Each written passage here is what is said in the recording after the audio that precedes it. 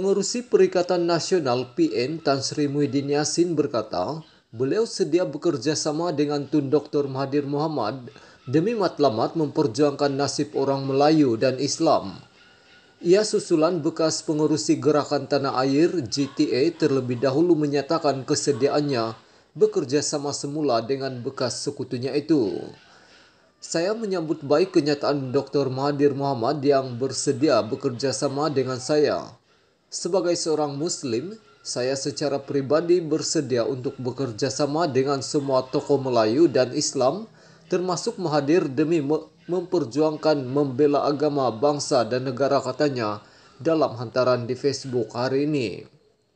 Ahli Parlemen Pago itu menegaskan kesediaannya itu juga didorong dengan perkembangan politik mutakhir ini yang meletakkan umat Melayu dan Islam di negara ini di suatu persimpangan getir. Terdahulu media melaporkan Dr. Madir mengakui beliau bersedia bekerja sama dengan Muhyiddin sekiranya kedua-dua pihak dapat mencapai matlamat yang sama. Dr. Madir dilaporkan berkata usaha untuk memperjuangkan nasib orang Melayu perlu dijadikan matlamat utama selain menolak individu yang terpalit dengan isu rasuah atau salah laku jenayah.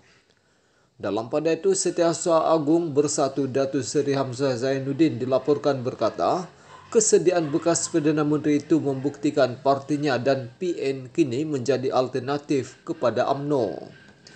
Bersatu katanya sedia menerima dan bekerja sama dengan mana-mana pemimpin politik termasuk Tun Dr. Mahathir Muhammad yang mencari platform perjuangan untuk orang Melayu.